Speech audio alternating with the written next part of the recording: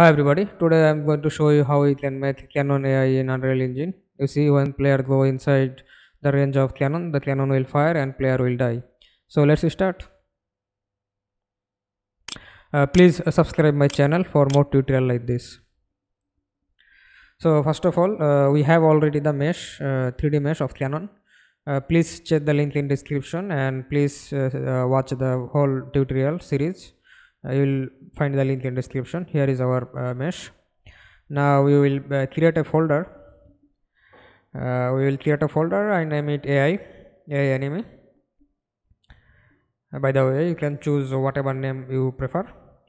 Uh, now I create another folder. I name it Cannon. Now I will, I will create a actor blueprint by right clicking. Uh, I name it BP Cannon. And from blueprint, I will duplicate the uh, BP rifle projectile, the rifle bullet, and I will uh, rename it like uh, Cannon projectile, BP Cannon projectile. Uh, by the way, you can choose whatever name you prefer. Now open the projectile. Here is our projectile. Now we need to change very few things here. There is a cylinder uh, I made for our rifle. It's a red material. Now just resize the size, I give 0.5. I think it's good. And the material should be any black material. I just give my rifle material. It looked like uh, okay. And sphere, I will add a function uh, on component hit. Uh, from here, uh, from other actor, I will cast to my character, uh, cast to side scroller character. You will choose your own character. I will add do once because I want to play it uh, one time once. Otherwise, it will be messy. And from our character, I will add uh, player damage, which I created in my previous tutorial. If you follow, you will know. Make it a little organized uh, this is fine I believe. Compile and save. Save all. Our projectile is done. Now we will make our BP cannon. Here is our cannon. We will add a few uh, component and also few variables here and some coding. So add a static mesh. I name it uh, by Cannon and I will add my Cannon mesh. It should be no collision. And it should be 90 on z-axis rotation minus 90 compile and save now we will add few more component.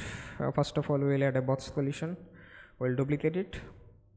Uh, I will rename it. Uh, one should be uh, range bots. Another should be health bots.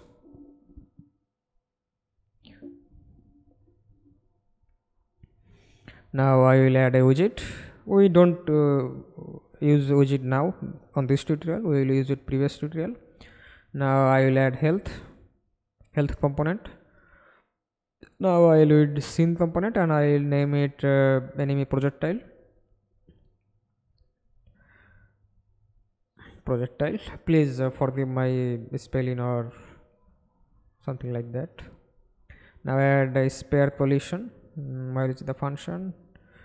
Mm, we need to add a sphere not a sphere mesh. Sphere collision. And the radius should be 6 compile and save. We need to add few variable also.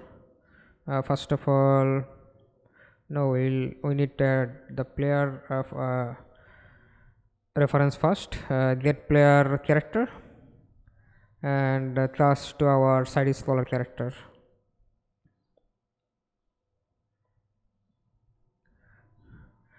And from here uh, make it a variable and I will name it player we are done here. Now we will add two more variable. Uh, one should be in range uh, r should be capital letter. It doesn't matter but i like it to capital letter. Now another uh, should be Glan offset it should be vector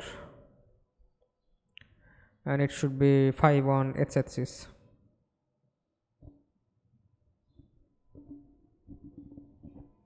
now you will uh, give some value of our component. First of all the range bots. The location should be um, 480 on x axis and uh, 210 on z axis on both extent 500 on x uh, uh, 64 on y and 220 should be in z. It is our range bots and we will need to also do the bots health bots. Uh, no it's not the widget it's the health bots. It should be one uh, 156 and now it's widget.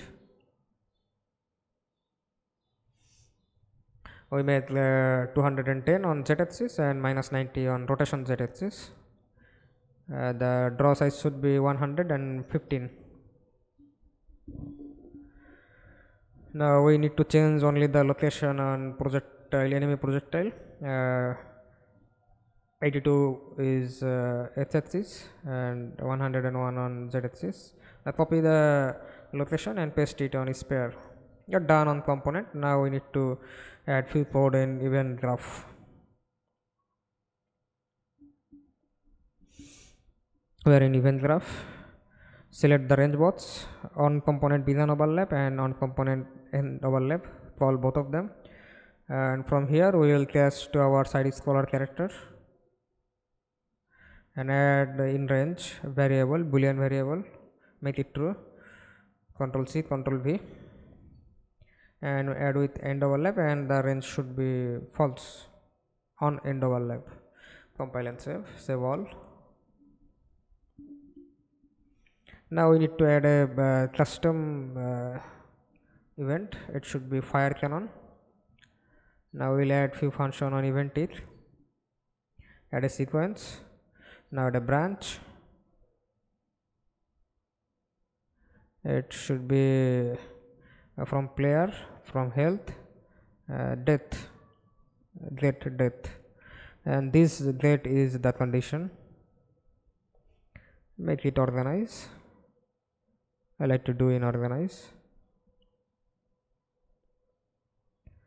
And from here add a delay. Delay should be one second. After one second uh, the fire will uh, the cannon will fire after one second. Otherwise it will be too fast. Add a branch again. Make it organized. Now this time the condition should be in range. And if it's in the range we will fire. Fire cannon the custom event we created.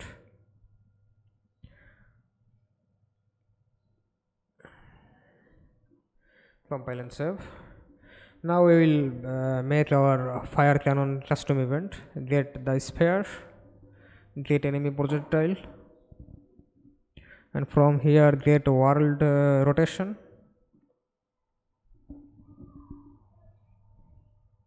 Also get the Glan offset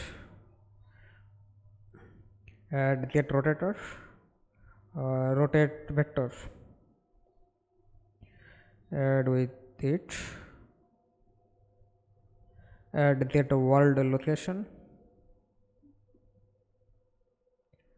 And add with vector this vector. Now make transform.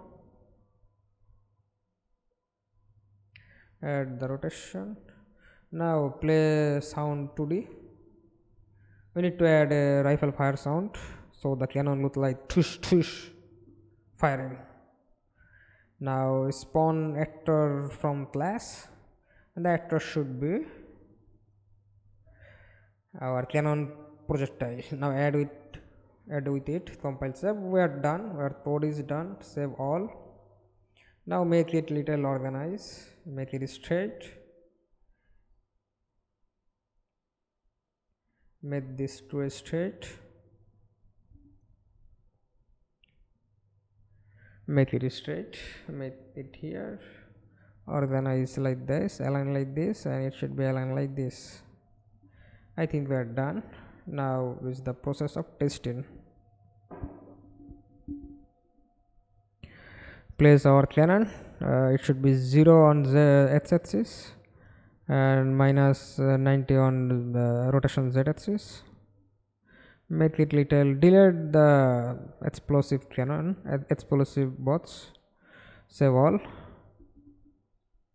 Now if we play and if we go in the range of uh, the cannon the cannon will start to fire and we will hit we will lose blood. You can see the position of our blood and after we will losing all the blood we will die you can by the way you can change the blood uh, lose uh, value like 50 or like 100 uh, so i test again I both close and it's firing, it's firing, it's firing and we die.